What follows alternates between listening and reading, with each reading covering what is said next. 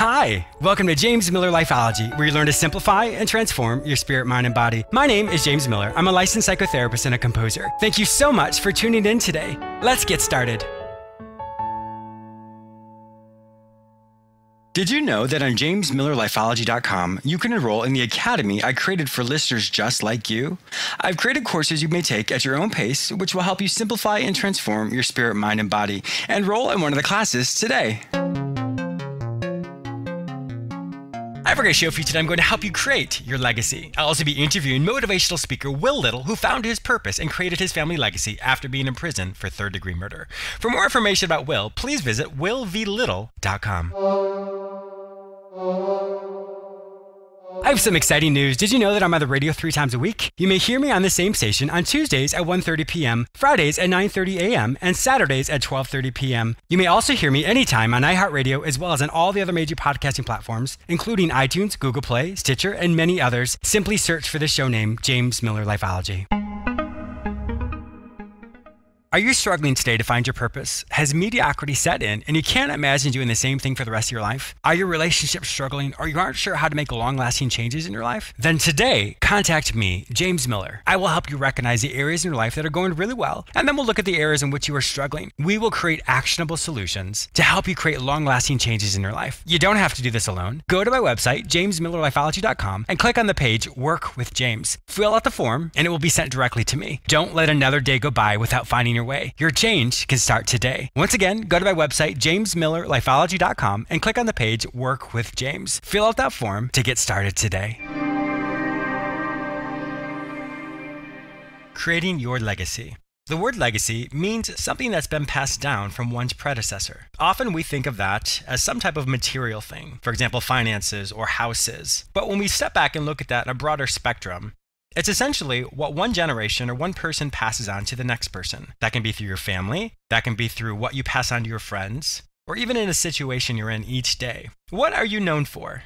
The attributes that you demonstrate to other people is a legacy you leave once you walk out that door, once you leave your office. One question I always ask people is when you leave an event or a situation, can you leave with confidence knowing that you enhanced that event or did you hinder it? The characteristics that we demonstrate are associated with who we are. If you're known as the person who's always laughing, that's associated with joy. You're creating a legacy of joy with each person you interact with. If you're known as the grumpy person or the downer, then unfortunately, that's a characteristic that you're demonstrating. That's a legacy you've created for yourself when you spend time with your friends. From a broader spectrum, let's look at this from a family systems standpoint. My grandfather laughed a lot. He loved to joke. He would always play practical jokes on people and was very mischievous. He passed that down to my father. My father loved to laugh. He was always playing practical jokes on people, and he was known for his laughter. That's been passed down to me as well. I love to laugh, and I'm very mischievous. That's one beautiful trait or legacy that my family passed down to me. When you look at what's been passed down through your family system, what is noted? Go back as far as you can to maybe your grandparents, or even your parents, or even your siblings. What characteristics were demonstrated that was passed down through each generation? If you were around someone who yells a lot, Unfortunately, maybe you yell, and you pass that down to your children as well. Now, of course, there's no judgment in any of this at all, because many times we don't realize that we're creating a legacy for the people around us, for when we leave a room, or for even our family, or for our business. So it's really important for you to ask yourself today what kind of legacy would you like to leave per event or even at the end of life? For what would you like to be known? What do you leave for the people around you? For your family, do you leave finances? Do you leave characteristics? Do you leave your faith? Do you leave respect? Or even in a situation you're in each day, the conversations that you have, are they uplifting conversations with other people? Are they full of joy? Are you cautious of what you say about other people? It's very important that we're mindful of how we interact with the people around us, but it's also mindful of what we instill or teach the people around us. Now, some of you may say, well, James, I didn't grow up the way you grew up. I didn't grow up with a grandfather who laughed a lot or a father who laughed a lot or I didn't grow up with money, or I didn't grow up with this, or I wasn't exposed to that. The great thing about that is you get to be the first person to start that legacy. You get to be the first person to instill these characteristics or influence your surroundings with whatever you'd like. Do you teach your children to be respectful? Do you teach them integrity? Do you teach them the importance of hard work? Or even your friends? Do you remind them that it's not kind to talk about people negatively? Are you compassionate to them? Are you benevolent to them? To strangers on the street? Do you create a legacy, just even in that moment, of changing their life? It's important for each of us to recognize that everything we do leaves a legacy from the smallest interaction or for generations to come. Be mindful that people watch you. You are a leader and you can change your world should you want to. But it's important that you change it in the way that's true to yourself. Create your legacy today. A quick example of one of the courses you'll find in the Academy entitled Spirit, Mind, Body The Perfect Triad. This non religious course helps you understand how your intuition, or rather your gut, your logic, and your body all work together to help you overcome any obstacle you may face. Enroll in the class today. We all have moments of truth in our lives. For some, it's a moment of self discovery, a time to stay true to oneself. My guest today is Will Little, who had two powerful moments of truth. You will hear his incredible transformational story and find out which choice he made. Welcome to my show, Will. Thanks for having me, James. Yes, I am looking forward to this. You have a phenomenal story, and I know my listeners are going to be blown away by all the things that you're doing today. Yes, indeed. The person with whom I'm speaking is not the person that originally started out in life. Give us a little bit of your backstory, and then obviously we'll jump right into the elements that, that made you have to make some of these choices. Okay, making a short story, not too long. Yeah. Um, basically, uh, I grew up in a single parent home in the area of Philadelphia, PA, uh, raised by my mother and three older sisters with one younger sister. So my father was kind of obsolete in my life. He mm-hmm. wasn't around, and I didn't have that directional guidance that I look for as a young man, that role model to follow, that image to um, to want to be once I got to become a man. Mm-hmm. So. Um, eventually, I was like a quiet kid that always reflected and laid back and just observed everyone and I knew um, just living in a house full of women that there are certain things I could not do, and there are certain things that I had to do, especially as um, a protector or the man in the house. Mm-hmm. So growing older, uh, my getting to my teenage years, I think my the first bad experience or traumatic experience that I had that kind of kind of shaped my m- mentality uh, for the streets was when uh, I was I jumped into a fight with my mother and her boyfriend at the time and um, um, I swung on his back a few times. He threw me off his back. Told me if you think I'm, if I think I was a man, to come on outside, and he's gonna show me what a man was. Oh so I was so wow. angry and frustrated at the time. I didn't think about it. I didn't think about the fact that you know this guy be drunk sometime. I didn't think about the fact that he carried a gun. Mm-hmm. I didn't think about none of that. I just thought about protecting my mother and you know, and not allowing this to happen or take place in my household because I'm 13, a little taller now and um, a lot of things I've seen as a kid that I was too afraid to approach or, or talk about. I mean, it was time now to face it, yeah. the reality. I mean, so when I went outside that day, my mom told me don't go outside, and I mean, because she wasn't aware of what he might do himself herself. Sure. So um, I said, no, I gotta go. I was like, I, am tired of it. I'm fed up. Mm-hmm. I gotta go. I mean, so I went out there, and then he grabbed me by my shirt, threw me against the wall, you know, pulled out his 38 Derringer, and he pointed like 12 inches away from my face, you know, and. Oh I was like so angry and so mad. I didn't move. I didn't jump. I didn't flinch. I just stared at him the whole time. Mm-hmm. I just mm-hmm. stared, stared, and I thought about my, my father's that My father, I need him right now. My uncles, I need them right now. I mean, but they're not here, so I got to deal with this. So I just stared at him and he just said to me, Don't ever jump into a fight with me and your mother again. And I was like, just looking at him like, This guy, he's going to pull a gun out on a kid for real. Wow. Like, to me, I was blown away by it. But then I was just, just that much angrier because, two, he pulled a gun out on the kid. Three, um, he was abusing my mother. Four, my father wasn't around mm-hmm. to protect any of us, you know. So all that just boiled up into in my mind. It's like to myself, like I'm gonna kill this guy when I get older. He's taking advantage. I mean, and from that moment, I mean, I wasn't afraid of anything after that. After he left and walked around the corner, I went upstairs in the house, checked on my mom. I asked her, was she okay? She asked me, was I okay? And I was like, yes. But I really wasn't okay because at that moment, I became dehumanized. At that mm-hmm. moment, I became fearless. Yes. You know, and it kind of shaped my mentality now how to deal with people and deal with the streets, the mean streets of Philadelphia where I grew up at. Unfortunately, your you eyes know? were so open to a world that, you know, that, that mm-hmm. innocence that you had as a boy. I mean, of course, you're going to protect your mom, but then when that gun was pulled on you, I mean, all that was just stripped away. Right. I was stripped away. And it's like, I just how I had to be you know so i became a product of my environment mm-hmm. you know i mm-hmm. grew older I got exposed to more things going to junior high school, the drugs and the people getting high and the quitting, dropping out of school and, and things of that, that, nature. And you know, I was going to school every day, kid. But then when I got exposed to more younger people who had the same kind of challenges, but um, dealt with them differently than I did, it's like you know now your mind's open up to a criminal world. Yeah. You know, you see ways to try to make money to take care of yourself because you see your mom struggling all the time with mm-hmm. the lights on and with the water staying hot and with food on the table. So you just try to make a make an ends meet. You know I'm saying by just doing the things you, you, you have to do. Yeah, exactly. Yeah, what mm-hmm. you have to do you know, and that kind of even being on the street and, and being faced with that criminal element, I mean, you learn more more um, bad ideas from bad influences and stuff like that. And mm-hmm.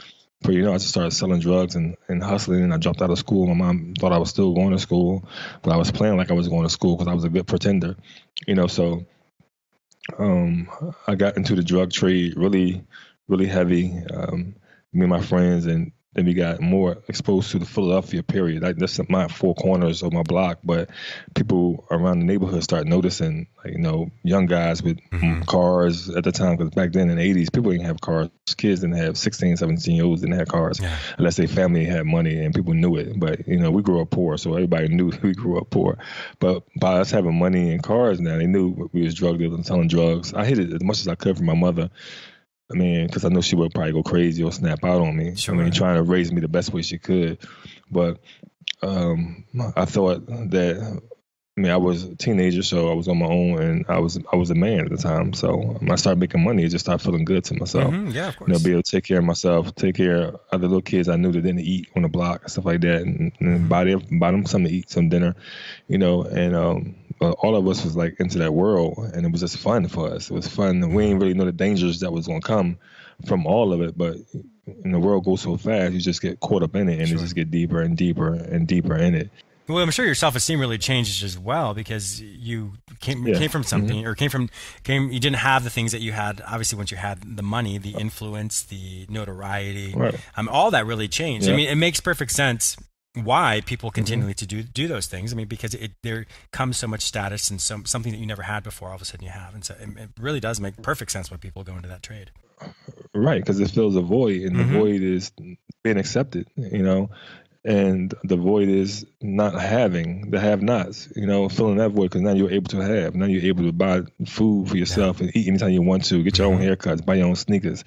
You know, and to keep up with the Joneses and things of that nature you know, and then just having a gun in itself, you know, it's like more power for you. Like now I'm protected. When I was a young kid, I was like, all right, I gotta I'm trying to wait, find a way to protect myself and my family. But now you have a gun and get you that kind of, that kind of image in your mind that you know, all right, now nobody can mess with me now because I'm invincible. I have a gun. Yeah, exactly. Since you, especially since you had that interaction with that guy as well, you knew the power yeah, of that yeah. gun. You knew exactly how it could right. intimidate other people. Right, exactly. I mean, and just by the words on the street, how people felt about people who carried guns or shot somebody before, they they got they got no, the notoriety. Mm-hmm. They were they were more like the celebrities in the neighborhood. Oh, that guy, he's a he's a shooter. Don't mess with him. Or he's a killer. Don't mess with him. You know, so people have respect for guys like that. They didn't bother them. And even though I wasn't trying to chase respect, I was I was I always gave respect to people. Yeah. But at the same time, I didn't allow nobody to harass or bother me or my family. I mean, once I got into that lifestyle. And one time, eventually, after my friend got shot 11 times, that was another, um, another experience that you know we didn't think we would experience at a young age, and we knew the game was really serious at the time mm-hmm. when our friend got shot 11 times in his car because he wasn't a drug dealer or carry guns. You know, he wasn't even like us. He wasn't even living the lifestyle we was living. Oh, and I was like, uh, out of all people, he get killed. I mean, not one of us. You know, yeah. so just shows you that um, it could be anybody can go at any time, and that even shaped my mind even more. And now I got to really be on the protective end of not only myself, but my family, my sisters, and my friends because mm-hmm. they they were getting high. I mean, they was kind of not they they kind of really wasn't aware of what things was going on because we in the streets because they getting high off of you know the supply and stuff. Mm-hmm. And I was a guy I never got high. I mean, I never used drugs or anything, you know. So um, I always try to be aware and alert. And um, eventually we got into another altercation at um, a skating ring with another group of guys who was you know has something against us because we know we was making money and we were young and we were making money and people got jealous mm-hmm. and we got into an altercation with some guys in the skating ring and once we came out they, they started shooting at us and I fired my gun back killing one of the guys that night, and then I was arrested three weeks later for um, a slew of charges: um, attempted murder on on attempted murder on a witness, uh, aggravated assault on another guy, a murder, uh, conspiracy. With, I locked up with three of my friends, and um, weapons charge. So they were seeking the death penalty in my case, and we had like the best DA in the in the, in the city who put everybody away for life yeah, or death, you know, on our case. So it was more so like, all right, this is this is really real right now. Mm-hmm. Um, what's happening is about to be real. But I had to stand in my truth either way. You know, I had to accept my responsibilities of the things I did and deal with the consequences. And that's a powerful thing because many people don't realize that sometimes you know society can think that one is a victim to whatever. And yeah, in some ways that may be true, but the reality is we all make choices, and in those choices there comes natural consequences, right. and consequences themselves are something right. we all deal with. It depends on how you know obviously what the behavior is, but there's always natural consequences. Right, and we don't we didn't have consequential thinking back that time. Mm-hmm. You know, even though we've seen it happen over and over to other people, get through, through the shooting, get locked up, sell drugs, get locked up. We didn't have consequential thinking. We just thought that we were smarter than everybody else. Yeah.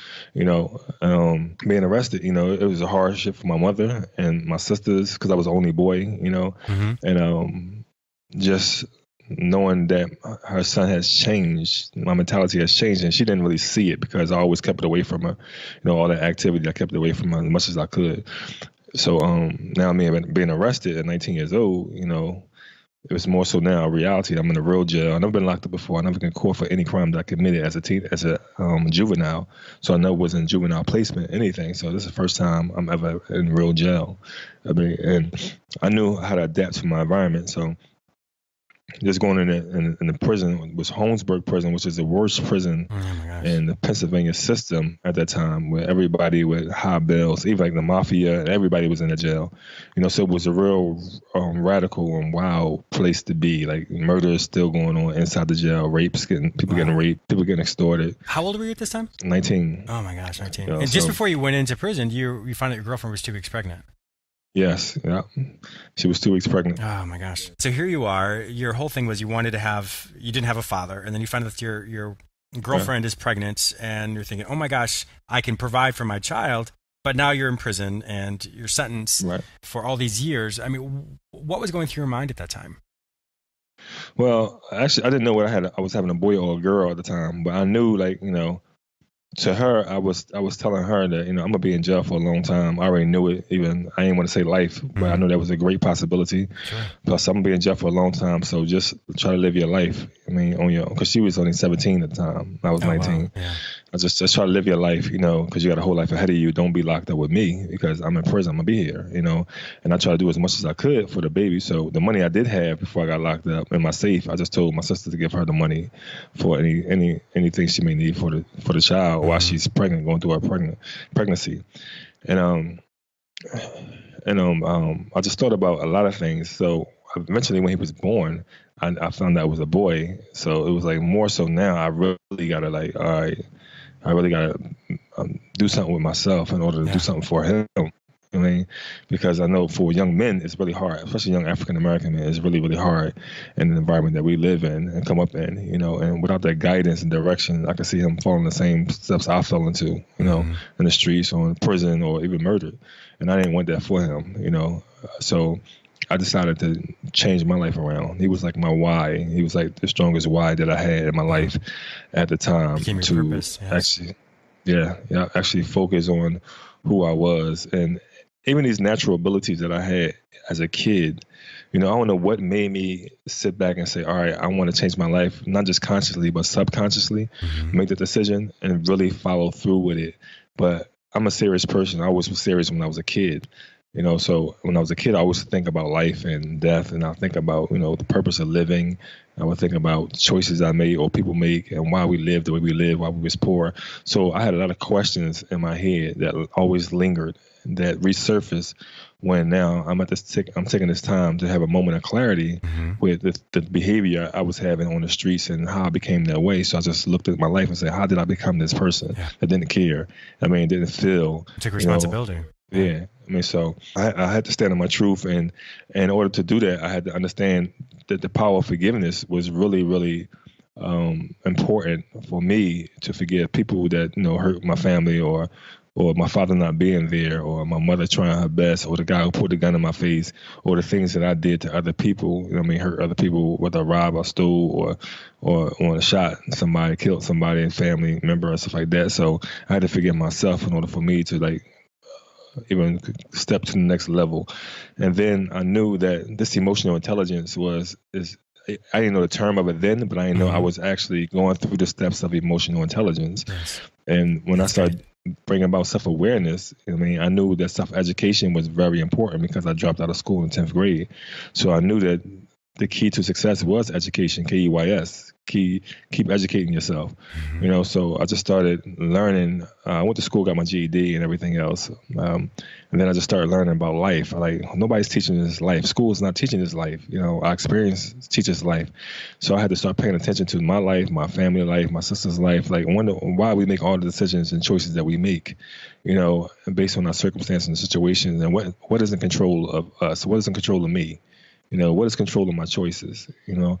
So i really had to just look at life and just learn from magazines and papers and movies. I just my perception started changing uh, the reality that i wanted to see and create for myself.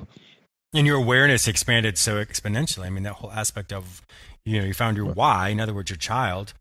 And then with that you had you found your purpose where it sounds like before you didn't have a purpose. It was no it wasn't any fault right. of your own. You just weren't exposed to that. Didn't know that there was more options for you than what you had been exposed to before. So after ten years, you were removed or you were released from prison. And what did you end up doing after that? Well, I knew it would be challenging when I left prison because of like all the inmates that come back to prison during my ten years. Mm-hmm. They always had reasons why they came back or excuses. I would say, like they say, the system set them up, the parole board set them up, the halfway house set them up. Mm-hmm. Uh, they they not giving jobs to guys. I mean, out there with felons and stuff like that. So I can't get employment. So all those things I already knew in my head, but even though I didn't have no kind of work experience on the streets, I knew I had to be uh, creative in some kind of way to make money because I didn't want to go back to selling drugs. Mm-hmm. I knew what that would get me. I mean, I knew what mentality that would create because it's still in me. It's just contained. Sure. I mean, and so once I got out of jail, in order for me to stay the course and stay following my purpose, you know, I had to start challenging myself. And that's one thing that we don't do. We don't challenge mm-hmm. ourselves enough. So I started challenging myself to do different things that I never did before because I knew, I understood that if if I did the same things, I would get the same things. If I did something new, I never knew what my potential really was. You know what I mean? And what outcome it may bring that would be more prosperous and successful. So I just challenged myself to learn more about everything that I was doing. And so if it's business, it's writing proposals, if it was running a show, uh, like my, my, my, poetry and motion show I created to actually bring awareness to the community about some of our dilemmas that we face, whether it's wow. um, my business poetry in a bottle that I started, I mean, from the barbershop, selling, selling my poetry and stuff like that, you know, teaching poetry classes in the community, going back to the schools and teaching young kids who were facing the same kind of problems I was facing as a young kid growing up in the environment and in the cities, you know, so all those particular things, I just had ideas in my mind how I was going to make money, even be a pro boxer, you know. And I just looked at a letter that I wrote, my, I sent to my mom. She gave it to me like a month ago. I wrote her a letter in 1997, a year before I was about to come home uh, to the halfway house. Mm-hmm and that letter is, is my plans. My plans to come home, you know, and, and make money and maybe be a boxer or and get a regular job and start working and, and make as much money as I could make and to uh, elevate myself and grow, get back to the community. So everything on that plan that I had for her, I looked at it myself like recently, like, wow, I did everything I said I was going to do. That's amazing, Well, That's awesome. Yeah. And I really like how you took responsibility as well. You know, you heard your your peers when they would uh, return to prison and there are all those excuses. And it sounds like from the very beginning, when you went into prison, like we said earlier, you took responsibility for that, the natural consequences that happened. And so you knew that there would be consequences. Should you be a victim to the world again and say, well, I had to do this or I had to return to drugs or I had to do this. And you found that that's, that's not what you wanted. So I really like to hear, it really goes with your character as well, that you realize there's cause and effect. You do something, right. this is for everybody. You do something and there is a reward or there's a punishment, but there is cause and effect. And I love hearing how you knew you don't want to go back to that because you knew what those consequences would be. It's incredibly inspiring. Now, you today you talk to. I, mean, I know you've did like you've done TED talks, you've done so many other things. Tell more of my listeners what it is that you're doing beyond um, what you ever thought you could do. Well, one thing I did when I, I wrote my autobiography, and without no no teaching or schooling on how to actually put that together. Mm-hmm. I mean, I asked a few questions to people, and I read a few books. I'm not really an avid reader, I mean, I just I read certain things that's relevant to my growth and development. Mm-hmm. You know I'm mm-hmm. saying, yeah, but not really too many stories. So when I started wanting to write my book, I just looked at other books and started seeing how they formatted everything and and how they opened the book and in the back of the book. So I said, I'm gonna write my book. I'm gonna sit down, take an hour after work, and just come home and just write my life story.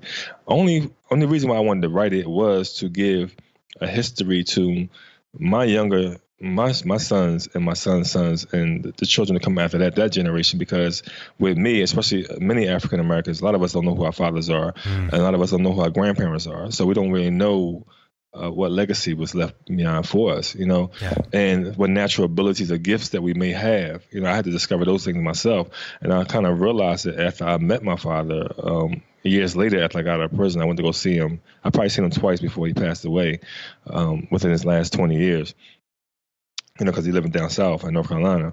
But just seeing him uh, having a conversation with him, not really a deep conversation because he was in the hospital mm-hmm. at the time, but just looking at his features and looking at some of his habits and how he talked, I started to identify myself with somebody uh, for once and for all. Mm. You know, um, this is what I want to leave for my children, my sons and their sons. You know, to when they go back and they can look in the book and they can go online, go on Amazon and say, "I'm gonna get my grand, my great grandfather wrote a book." That's and I amazing. Know. Yeah, exactly. Yeah, I want to know. Awesome. I mean, about his life and, and, how that affects me. And maybe I'm a writer because my dad, my, my great grandfather was a poet. Yeah. Or maybe I'm I'm I'm I'm tenacious because he kept going. And he never gave up, persevered. So those kind of attributes you could look at themselves. So when I wrote the book, I just wrote about life in general, and people started like you know being inspired by it. You know, awesome. and it was by surprise, like all walks of life. I don't care white, black, young, rich, poor, everybody's now I'm getting reviews from everybody that say they really got some good nuggets out the book on my story. I mean, just like the TED Talk did.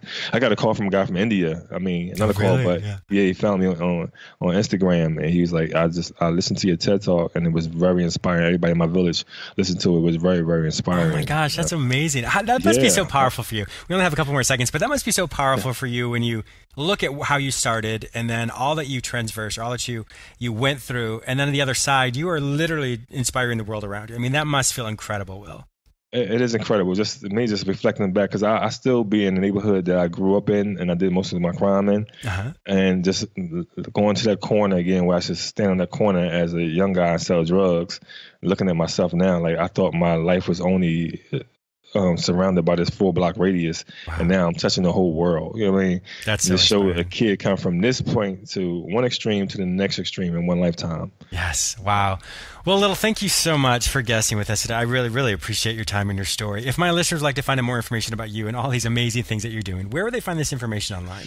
Well, they can find me on Facebook under Will uh, Little or Will Latif Little, L A T I F Little, or you can find my website Will V Little, V as in Victor, uh, W-I-L-L-V-L-I-T-T-L-E dot com. And you can find my website there and you'll find more information about me. See the TED Talk on there. Some documentaries like are coming out this year, maybe on HBO, Showtime, um, that I'm working on, we're working on. So there's a lot of stuff, good things happening now for me. You know, that, that, that law of attraction is really real. That's what I try yes, to teach people about what you put out there, you will get back. Yes. Well, well, once again, thank you. I really did appreciate your time today. It's, it's phenomenal talk. Thank you.